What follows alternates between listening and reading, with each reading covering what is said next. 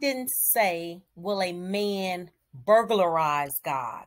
He said, Will a man rob God?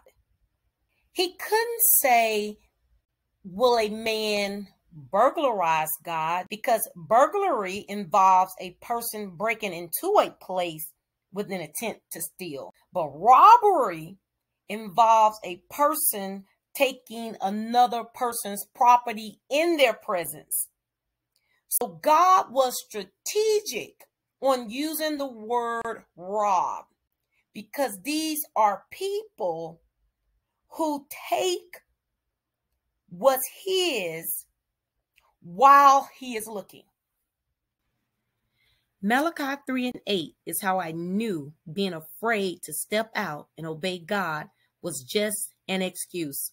Because that same fear that came to keep me from stepping out and obeying God was not as powerful to keep me from robbing God.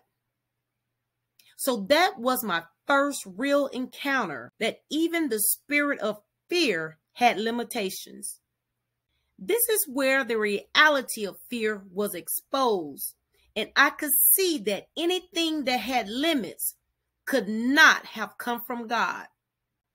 I could see that not only had the spirit of fear convinced me to rob God financially in tithes and offerings, the spirit of fear had also convinced me to rob God in gifts and talents because everything God had given me was intended to be offered back to Him at the most basic kingdom level possible, which is 10%.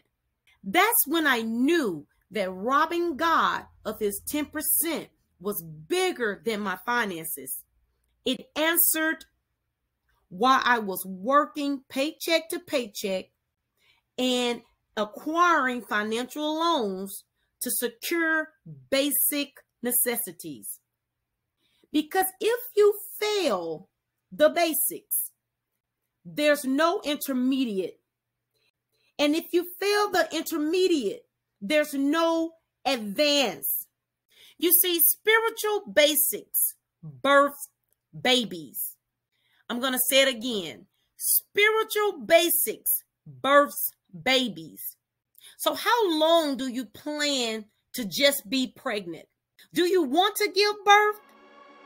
Or does the thought of aborting makes it easier for you to move on? Make a generous donation to Deborah O'Rise, please Cash App dollar sign M Craft. Again, dollar sign M C R A F T. Please thank you for your continued support.